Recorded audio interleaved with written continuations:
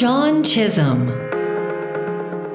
As an owner of a business, as an entrepreneur, winning and losing based on your own decisions is, uh, is a real thrill for me. You wake up in the morning and you feel this sense of purpose. Uh, you feel this sense of responsibility. And on some days, uh, when things aren't going so well, you feel tremendous weight at the same time. And for reasons unknown to me, even that tremendous weight excites me. We have so many people since 1904 in this community that have been connected to the Ford Motor Company. And with that comes a huge responsibility to make sure that they're happy with the brand. The renovations that we've done, the, the remodeling and the re energizing of Rose City Ford have a lot to do with the customer experience that potential Ford owners are looking for from their dealer today. And they say to you, thank you because when they feel like you have renovated their dealership, I think that the goal has been accomplished. Bernard Gorski. I've been a farmer for over 40 years. Growing good grapes is not very difficult for me.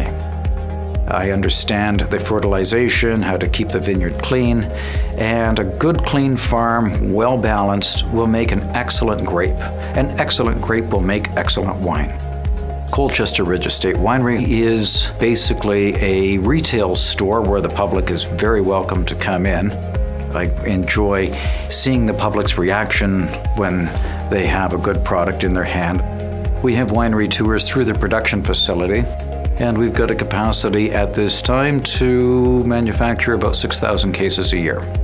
Gorski Bulk Transport is a company that specializes in hauling products in stainless steel tankers. And if you can imagine having food products hauled in bulk liquid containers, you would like to see the food products arrive in the same condition they left. That's pretty easily said, but it's not easily done. Everything is handled with the customer's best interest in mind. Imad Najjar.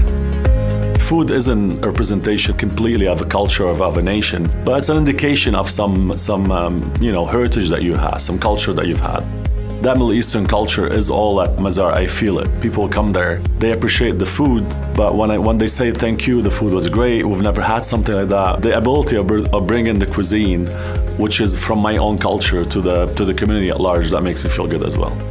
Anything I do, I end up turning around and realizing that my strength is people. At Rocky Motors, say we passion for car, passion for people. When you're buying a car for your mom or your dad or yourself, it's a big decision to make and it's a complicated decision. I thought, you know, I could do it. I could do it without making it complicated for people. My name is on that car. And I'm going to do my best to make sure that this customer um, is enjoying what he bought from me. An entrepreneur in some days is somebody that takes all the credit for something he hasn't done, and some days that he takes all the trouble for something he hasn't done as well. It becomes your baby, you know, and it's been good to me.